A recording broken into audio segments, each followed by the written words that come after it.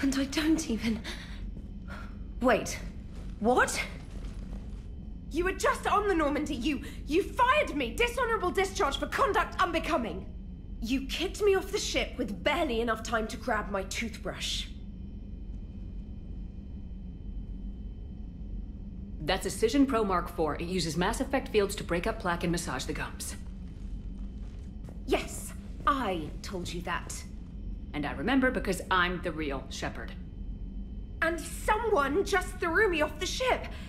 If it wasn't you... A, a clone. Honestly, when you serve on the Normandy long enough, you get used to things like this. I can explain more later. For now...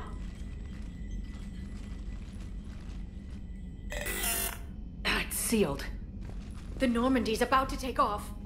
Is there anyone still aboard who can help us? No, I was only there because I helped with the Normandy retrofits back on Earth. Everyone else is on shore leave. Okay, you know this ship inside and out. Can you get me inside? There's an emergency exit hatch for evacuations. It should be right here.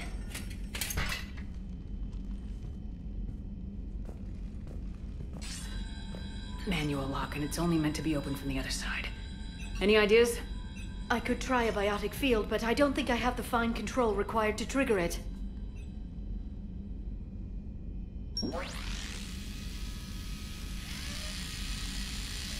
If you'd told me this morning that a toothbrush was gonna save the Normandy, I'd have been very skeptical.